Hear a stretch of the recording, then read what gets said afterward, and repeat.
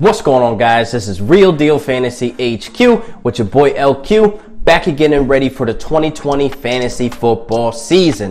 Now we're looking to add two guys to the team to the RDF HQ. We're currently a team of four, but we're looking to add two people, guys, gals, whatever the case may be. But you must live, breathe, and sleep fantasy football, people. You need to have that passion, that drive, and knowledge of fantasy football. Now we're looking for content creators. We're looking for people who are able to produce on social media outlets what we post, what the brand pushes out, share, retweet, whatever the case may be on all social media outlets. So you need to be a social media junkie basically when we push this content from the website. So I'm looking for a stats guy also about the numbers and strictly the numbers. If I need to know how many targets this guy's getting in the red zone or how many, you know, targets this guy's seeing in the end zone, whatever the case may be. If it's percentage, snap percentage, all numbers game people and able to post that on social media also on the website at realdealfantasyhq.com so if you are interested leave a comment below or hit me in the inbox to let me know you want to join the brand.